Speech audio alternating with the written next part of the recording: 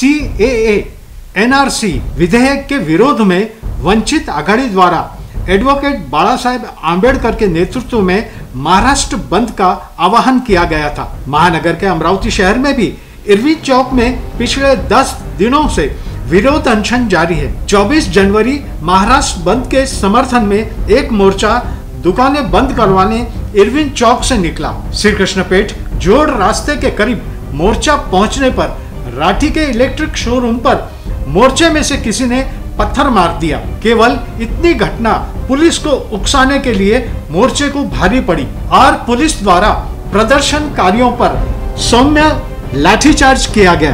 कानूनी कार्रवाई के लिए उन्हें हिरासत में लिया गया।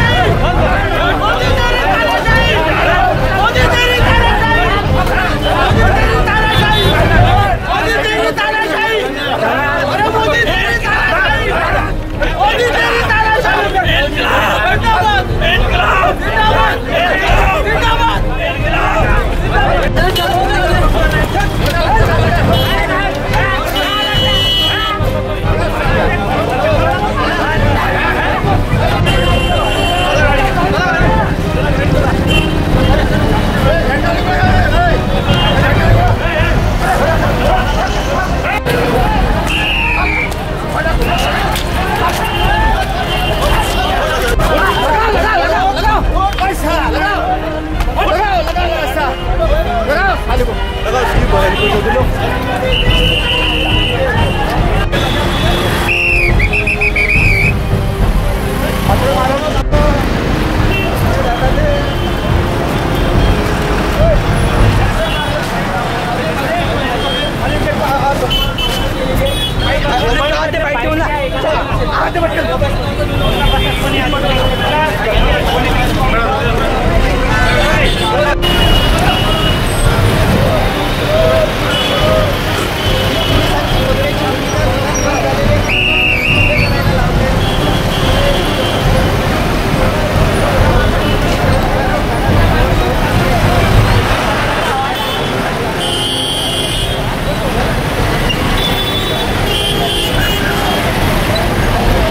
24 जनवरी को बाबा साहेब अंबेडकर ने महाराष्ट्र का बन कॉल किया था जो भारत को तोड़ने वाला कायदा है।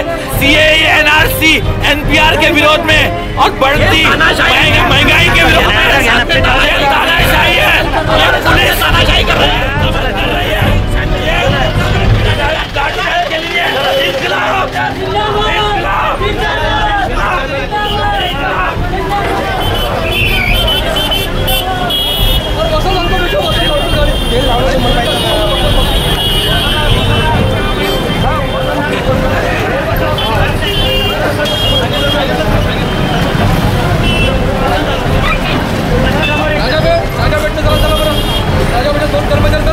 पुलिस कार्रवाई में वंचित बहुजन आघाड़ी के आनंद इंगड़े बाबा राव गायकवाड़, अलीम पटेल, एडवोकेट सिद्धार्थ गायकवाड़, भीम ब्रिगेड के राजेश वानखड़े आदि को डिटेन किया गया। लाठीचार्ज व कानूनी व्यवस्था बनाए रखने Gadgenagar police, city Kotwali police के कर्मचारी, डीसीपी यशवंत सोड़ंके मनीष ठाकरे, शिवाजी बचाटे, क्यूआरटी पथक ने कार्रवाई की।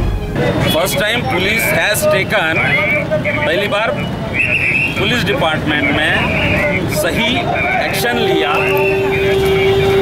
जमाव नहीं होने दिया। हुड़दंग मचाने वालों के अगेंस्ट एक्शन लिया और व्यापारियों को साथ देकर दुकानें खोलने के लिए आह्वान किया। ये पहली बार हुआ है शहर के अंदर। नहीं तो इसके पहले लोग बोलते थे कि बंद करो दुकानें। आज पहली बार ऐसा हुआ कि पुलिस वालों के साथ की वजह से शहर के व्यापारी शायद सुकून से आने वाले समय में बगैर डर से अपना व्यापार कर सकेंगे। अमरावती शहरामध्ये सर्व व्यवहार जे सुरळीत सुरू माझं सर्व लोकांना आव्हान आहे की सगळे ट्रॅफिक सगळे शॉप्स सुरळीत सुरू आहेत. पोलिसांना आपण सहकार्य करा. आणि जनजीवन जे आहे ते सुरळीत कशा पद्धतीने राहील या दृष्टिकोनातून सगळ्यांनी पोलिसांनी सहकार्य करावं असं मी आव्हान काय प्रसंग काय झाला? असा पोलिसांनी लाठीच्या वगैरे आणि डिटेन केलाय. नाही मार्केट बंद करण्याचा प्रयत्न करत होते. आम्ही त्यांना कालच सांगितलं की जबरदस्तीने मार्केट कुणीही बंद करणार नाही. ज्यावेळेस ते मार्केट बंद करण्याचा प्रयत्न करत त्यावेळेस फक्त आम्ही त्यांना ताब्यात डिटेन केलेलं आहे. त्या अनुषंगाने कुणाला काही अडचण होणार नाही आणि कायदा सुव्यवस्थेचा प्रश्न निर्माण होणार नाही. या अनुषंगाने ही कारवाई करण्यात आलेली आहे.